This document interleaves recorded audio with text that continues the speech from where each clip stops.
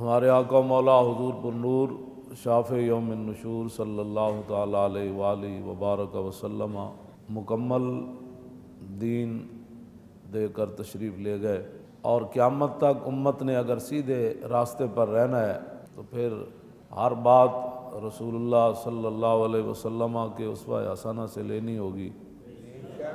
اور اللہ رب العالمین نے قرآن مجید کے اندر ارشاد فرمایا، لقد کتا ترکن الیہم شیئن قلیلا از اللہ ذکنا کا دیف الحیات و دیف الممات، ثم لا تجد لکا علینا نصیرہ اس کا معنی یہ ہے کہ خطاب رسول اللہ کو ہے صلی اللہ علیہ وسلم، لیکن مراد امت ہے کہ اے میرے محبوب کی امت ہی ہو اگر تم ذرہ برابر بھی باطل کی طرف مائل ہوئے، شیئن کلیلہ ذرہ برابر۔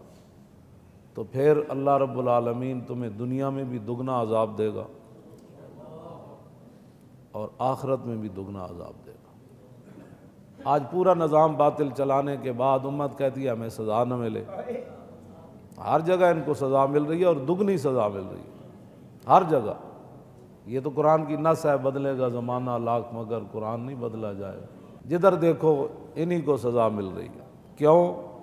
ایک آدمی نے سمجھا ہی نہیں دین، ایک آدمی ایمان ہی نہیں لایا۔ وہ دین کی مخالفت کرتا ہے، اس کی ایک نوعیت اور بن جاتی۔ لیکن ایک کلمہ پڑھنے کے بعد پھر باطل کی طرف مائل ہوتا۔ ہے جو قرآن کی نس ہے۔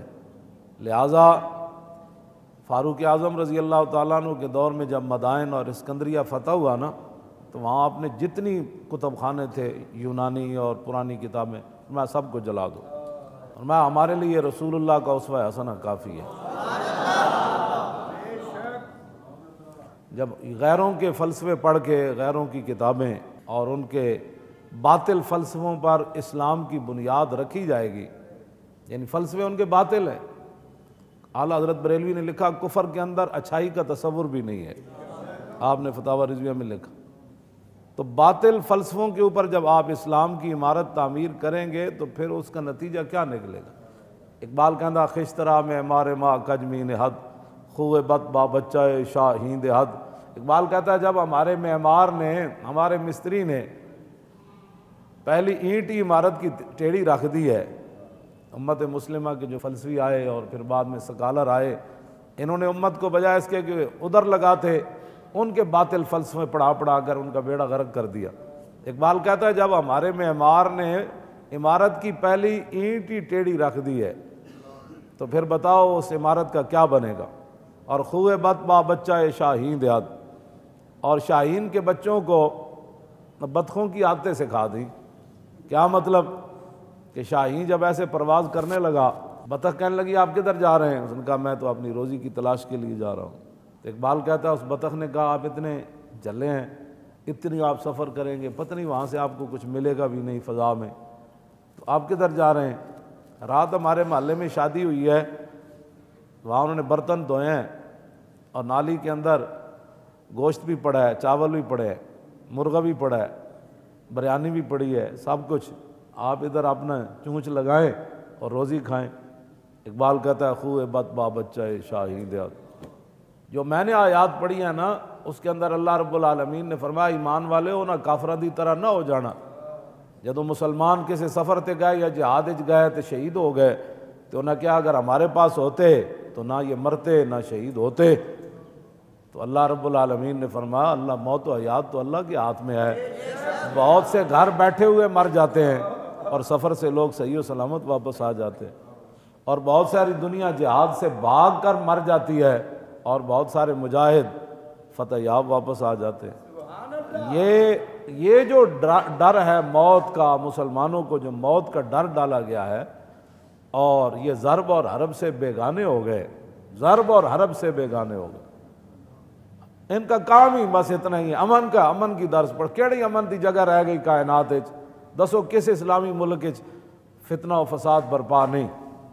کیڑے علاقے دے وچ کتے تو انہیں چھڑ دیتے تے بندے انہیں تے مار دیتے عورتیں تھوڑیاں انہیں قید کر لیاں کوئی بچیاں اور ریپ کر لیاں ہر نظام انہوں نے تھوڑا ہوں کہڑے امن دے تسی درس دے دیو میں نے دس ہوں کہڑا امن رہ گیا باقی کہڑے کہڑے تسی امن کافر نال مودی نال کہڑا امن تسی کرنا ہے سوائے اس تو کہ تسی جناب مودی ہوتے حملہ کر دو اے آج بھی پاکستان نے حملہ کرنا ہے تے کل بھی کرنا ہے اور سب تو بہتر ہے کہ جلدی جلدی حملہ کر دے اس تو علاوہ کشمیر کدی بھی فتح نہیں ہونا اے نادان ترا امید غم گسارا زفرنگست دلے شاہی نسوزت بارے آم مرغے کے در چنگست اقبال کہندا جلیا اور فرنگیاں کو تینوں خیر دی امید ہے ایک کدی سوچی بھی نہ شاہین دے پنجہ جدو پرندہ آ جائے نا وہ دے چین چین دے چان چان کرن نال شاہین کدی چھوڑے نہیں ہاں جی اس واسطے پاکستان کے لیے بہت بہتر ہے کہ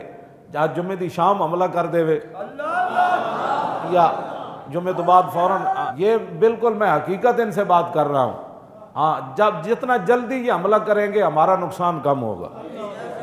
امام علی مقام، امام حسین رضی اللہ تعالیٰ نے فرمایا کرتے تھے، ظلم کے خلاف جلدی اٹھنا، اگر دیر کر دی تو پھر قربانیاں زیادہ دینی پڑیں۔ تو اب سو دن سے تو زیادہ ہو گیا ہے۔ آپ کس کا انتظار کر رہے ہیں؟ اس لیے یہ قرآن کے یہ ویسے بھی قرآن کی نس ہے، کیوں جی؟ نبی علیہ السلام نے غزوہ موتا کے لیے روانہ فرمایا۔ حضور نے فرمایا غزوہ موتا کے لیے کتنے بندے حضور نے روانہ فرمائے؟ تین ہزار۔ اور آگے تین لاکھ کھڑے تھے۔ تین لاکھ کھڑے تھے۔ اور جب راستے میں مشورہ ہوا تو حضرت عبداللہ بن روا کہنے لگے، یار حضور کو کیوں بتانا ہے دوبارہ؟ حضور نے تو لاکھ کے مقابلے میں بھیجے تھے، آگے بندے تین لاکھ آ گئے۔ تو حضرت عبداللہ بن روا کہنے لگے احد الحسن یین دونوں میں ایک اچھائی تو سانو ملنی۔ یا اسی انہوں نے مار دیا میں کہ یا شہید ہو جاؤں ایک اچھائی تو سانو لبڑی لبڑی۔ تو حضور نے کیوں دسنا ہے؟ چلیے۔ تین لاکھ کے مقابلے میں چلے گئے۔ اور حضور نے میرے آقا کو پتہ تھا یہ زمان اور مکان یہ حضور کے احاطے میں ہے۔ ہاں جی یہ زمان اور مکان میرے اور آپ کے لیے ہے۔ ہاں یہ رسول اللہ نہ ہوتے زمانے کہاں ہوتے، مکان کہاں ہوتے؟ وہ جو نہ تھے تو کچھ نہ تھا اور وہ جو نہ ہو نالیک لوگ وہ ہوتے ہیں جو اپنے کار پاکاں را کیا سز، خود مگیر گر باشد در نوشتن شیر و شیر مولانا روم فرما دینا پاک لوگ دیاں گلہ اپنے تے کیا سنکی کر۔ اور شیر اور شیر لکھنے میں تو برابر ہوتے ہیں، لیکن شیر بندے کو کھا جاتا ہے، شیر بندہ پی جاتا ہے۔ اس واسطے جملہ عالم زی سبب گمراہ شود کم کسے زیبدال حق آگاہ شود مولانا روم فرماتے ساری دنیا برباد ہی اس واسطے ہوئی کہ انہوں پاک لوگوں اپنے تے قیاس کیتا۔ انہوں نہیں سنی دا تو ایک شاید ادھر بھی کوئی نہیں۔ انہوں تے باساں کر دے رہا کہ درود کہاں سے پڑھنا ہے، کون سنتا ہے، کیسے سنتا ہے؟ یہ حضور کے بارے میں باتیں کرتا ہے۔ ہاں جی حضور کے بارے میں یہ باتیں کرتا ہے اور اس کی عقل ہے بھی کوئی نہیں، فارغ ہے۔ نڑینوے فیصد اللہ نے عقل اپنے حبیب کو عطا فرمائی اور ایک فیصد ساری مخلوق کو عطا فرمائی۔ ان کی ہے عقلیں کتنی جو انہوں نے حضور کے بارے میں بات کرنی، یہ تو بات ہی غلط ہے۔ اب رسول اللہ نے فرمایا کہ اگر غزوہ موتا میں زید بن عارثہ شہید ہو جائیں تو پھر جھنڈا جعفر تیار اٹھا لیں۔ اگر وہ بھی شہید ہو جائیں تو پھر عبداللہ بن روا اٹھا لیں۔ اگر وہ بھی شہید ہو جائیں تو پھر جس کا دل چاہے جھنڈا اٹھا لیں اور حضور لاکھ کے مقابلے میں تین ہزار بھیج رہے ہم بندے مروا دیں؟ ہم جنگ چھیڑ دیں؟ یہ کیا یہ باطل فلسفے ہیں جو تم نے پڑھے ہیں۔ ہاں جی یہ باطل فلسفے ہیں۔ ان پر نہ جہاد شروع ہو سکتا ہے، نہ کسی سے لڑا جا سکتا ہے۔ جو رسول اللہ کا اسوہ حسن ہے، اسی کے ذریعے لڑا بھی جا سکتا ہے۔ اسی کے ذریعے کشمیر بھی واپس لایا جا سکتا ہے، اسی کے ذریعے بیت المقدس بھی واپس آ سکتا ہے، اسی کے ذریعے پاکستانی سر اٹھا کر بھی جی سکتے ہیں، اسی کے ذریعے غیروں کے قرضے بھی واپس کیے جا سکتے ہیں اور اسی کے ذریعے پاکستان کو احسن طریقے سے چلایا بھی جا سکتا ہے۔ جتنے مرضی تم بک بک کرتے رہو، کچھ بھی نہیں تمہیں ملنا۔ اب بالکل صحیح تم اور ذلیل ہوتے چلے جاؤ گے، اور برباد ہوتے چلے جاؤ گے۔ روٹی روٹی ان کو پڑی ہوئی ہے۔ مولانا غزوہ خندق کے موقع پر ایک مہینہ صحابہ کو روٹی ملی۔ ایک مہینہ، حضور ایک ٹائم ادھی کھجور دیں دے سن۔ اتنے روٹی دی پئی ہوئی۔ روٹی دا بعد حضور نے فرمایا کہ روٹی دا مسئلہ مدینے جال کرا انہوں نے روٹی دی پئی ہوئی۔ روٹی انہوں نے لبڑی کوئی نہیں، روٹی دم دینی مالک۔ انہوں منگنی انگریزاں کو انگریزاں انہوں نے کی دینا؟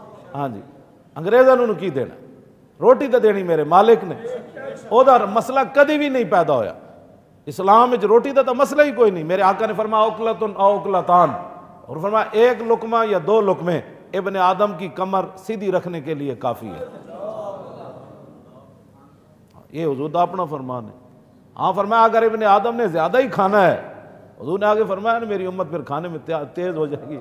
تو پھر حضور نے فرمایا، اگر ابن آدم زیادہ ہی کھانا چاہتا ہے، تو پھر اپنے پیٹ کے تین حصے کرے، ایک میں کھانا ڈالے، ایک میں پانی ڈالے، اور ایک سانس کے لیے خالی رکھے۔ اور اے توبہ توبہ توبہ توبہ اینج پاؤں روٹی نو ٹوٹ کے میں کہتا کہ ہنے اللہ دا عذاب نازل ہونا اے صحابہ نو منن والے جنہ جنگ وچ پانی منگیا تے اگلے کیا مینوں دیو تو نہ کہ انہاں نوں دیو پانی منگیا تے انہاں نوں دے دیو انہاں کہا انہاں دے دیو سات تے سات شہید ہو گئے پانی کسے نہ پیتا پانی پھر بھی اتھی پہ رہے اسی انہاں تو منن والے ہاں نہ نہ یہ تو گل ہی مک گئی پھر ہر بندہ بیٹھ کے فلسفہ جھاڑ دے جی مسلمانوں کیوں تباہی ہوئی ہے میں نے کہا سبب اس کا کچھ اور ہی ہے، جس کو تو خود سمجھتا ہے۔ اقبال کہنا سبب اس کا کچھ اور ہی ہے، جس کو تو خود سمجھتا ہے کہ زوال بندہ مومن کا بے ذریع سے نہیں۔ اتنے ایک صحابی شہید ہوئے سن، حضرت حارث بن عمیر۔ حضور دا خط لے کے گئے۔ اور بلکا دا جڑا گورنر سی کیسر روم دا وہ بڑا گنڈا سی۔ جدوں خط ویکھیا کہ رسول اللہ نے فرمایا، کلمہ پڑھو، بچ جاؤ گے۔ انہیں کہا، سانو کون ہے کائنات چے دھمکی لانا؟ انہیں خط پڑھ دیں۔ صحابی رسول حضرت حارث بن عمیر نے شہید کر دیتا۔ عمر بن شرحبیل نے شہید کر دیتا۔ وہ اپنے حضور نے ایک صحابی دا بدلہ لین واسطے لاکھ دے مقابلے ترے ہزار صحابہ بھیج دیتے۔ اتنے اتنے مروا کے بھی ہر روز مروا ہو۔ کدی بھی تو آئی دم خام کے اسی نہ کوئی بدلہ لینا۔ انڈیا دی کی ضرورت ہے کہ جناب وہ اتنے سرحد ہوتے سارے فوجیاں نو مار دے انہوں نے لمیا ایک دن پایا ہوئے نا۔ نا جی۔ ایک دن جناب شاہی نہ جڑ کے جائے نا خالی اینج۔ ہاں۔, ہاں۔ اے، میں تو اڑنا حقیقت گل کر رہے ہیں ایک فلسفیانہ گفتگو نہیں۔ اور دسو، ایک لاکھ بندہ کھڑیا۔ ایک لاکھ بندہ کھڑیا، حضور ترے ہزار بندے بھیج دیتے۔ اور میرے آقا نو پتہ سی، انہیں شہید ہو جانا ہے۔ اور حضور جدو مسجد نبی شریف تشریف فرما زید بن عارسہ جاندے ہی سدھا سرحد ہوتے جا پہنچے۔ تین لاکھ فوج نہ متھا لا دیتا۔ اور آپ لڑدے ہیں لڑدے انہوں دی فوج دے اندر گھس گئے۔ اور شہید ہو گئے فوراً۔ حضور مسجد نبی شریف جلوہ گر سن۔ حضور اتو فرما رہے سن زید بن عارسہ شہید ہو گیا، جھنڈا جعفر تیار نے اٹھا لیا۔ جعفر تیار جھنڈا چک لیا زید بن عارسہ شہید ہو گئے۔ اور انہوں نے کئی بندے مار دیتے۔ صحابہ صرف اٹھ شہید ہوئے سن، تین لاکھ دے۔ اور انہوں نے لینا لا دیتی۔ تسی چلو تے صحیح نا۔ ایتھے تسی کی کی کرنا ہے؟ بیٹھے کہ جناب ہم یہ کر دیں گے۔ زید بن عارسہ شہید ہو گئے۔ جعفر تیار جھنڈا چک لیا۔ آپ دی تینتی سال عمر سی، حضرت جعفر تیار دی۔ یہ تو آئے نا غزوہ خیبر دے موقع تے۔ تے رسول اللہ صلی اللہ علیہ وسلم خیبر فتح ہو چکے سی تے اے پھر ادھر حبشہ وچ ہجرت کر گئے سن۔ ادھر واپس آئے۔ تے رسول اللہ نے اٹھ کے ملے، حضور انہوں نے چومیا۔ حضور نے فرمایا کہ یہ فیصلہ مشکل ہو رہا۔ جعفر تیار دی، میں زیادہ آن دی خوشی ہوئی یا خیبر فتح ہونے دی زیادہ خوشی۔ حضور نے اتنا پیار سی حضرت جعفر تیار نہ ہاں جی۔ حضرت جعفر تیار نو پھر دوسرے سال حضور نے ادھر بھیج دیتا۔ انہوں نے جو تھکاوٹ بھی سفر دی نہیں اتری۔ تو حضور نے تین لاکھ مقابلے بندے بھیج دیتے، فرمایا انہوں نے جاؤ جی لا کے لڑو۔ انہوں نے بھی یہ نہیں کیا حضور میں نے تھکاوٹ تے لان دو لاؤ جی جعفر تیار جھنڈا چک لیا۔ جعفر تیار جھنڈا حضور نے فرمایا جعفر تیار نے جھنڈا اٹھا لیا۔ حضور کے بارے میں لوگ باتیں کر دیں مولا حضور مسجد نبی شریف کتنے ہو کیسر روم؟ ہاں جی کتنے ہو؟ وہ تو حضور فرما رہے جعفر تیار جھنڈا چک لے۔ جعفر تیار جناب اپنی پھر وہ تلوار چلائی۔ آپ دا گھوڑے نو انہوں زخمی کر دیتا، گھوڑا چلن دے قابل نہ رہا۔ آپ گھوڑے تو تھلے آ گئے۔ ہوں جی اگلی گل ہے نا، وہ بندے مردے نو بھی زندہ کر دیں۔ جدو آپ این گھوڑے تو تھلے اترے نا این تلوار چاہی۔ تو فرما اللہ، فرمایا، جنت اتنی قریب آ گئی۔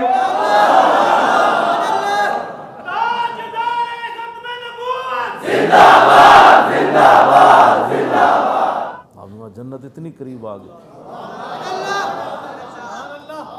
اور وہ پہلے سے پاس سالار کی لاش پڑی ہوئی ہے۔ اور خود اٹھا کر پھر ان کو نہیں رونا شروع کر دیا کہ یہ شہید ہو گئے۔ خود کہنے لگے، جنت اتنی قریب آ گئی۔ پھر آپ لڑنا شروع ہو گئے۔ آپ کا دایاں بازو کٹ گیا۔ آپ نے جھنڈا بائیں بازو میں اٹھا۔ دسو یار، اے اکل چاڑنے والی اتنے تو کنڈر چپ جائے تھے دس دن لوگ پیر نہیں رکھتے اتنے ضرب حرب تو بے گانن ایت ایپ انہیں پھر اے بھی کٹ دیتا۔ بائیں بازو بھی کٹیا گیا آپ دا۔ پھر اے جڑا ادھا ادھا بازو اتنا بچیا سی نا، آپ نے جھنڈا انج کر لیا۔ دسو یار تو ہے اکل چاہنے والی گل اسلام دا جھنڈا نہیں ڈین دیتا اتنے کہنے نہیں اسلام جدھر مرضی جائے ساڑی پگڑیاں بچ جان میرا کوٹھی کار بچ جائے میرا کاروبار بچے ناموس رسالت جو مرضی ہوتا رہے ممتاز قادری پھٹے لگا سانو کی لگا مسیدہ دے سپیکر ہوتے اکل کو مندی دو میں بازو کٹ جان دے جیڑا تھوڑے تھوڑے بچن جھنڈا پھر بندہ کر لگے تین لاکھ بندہ کے کھڑے ہو آپ نے جھنڈا این کر لیا انہوں نے آپ نے شہید کر دیتا، جھنڈا پچھو آ کے عبداللہ بن روا چک لے۔ مزید ویڈیوز اور اپڈیٹس کے لیے یوٹیوب پر Allama Khadim Hussain Rizvi official channel subscribe کریں اور بیل آئیکن پر بھی کلک کریں۔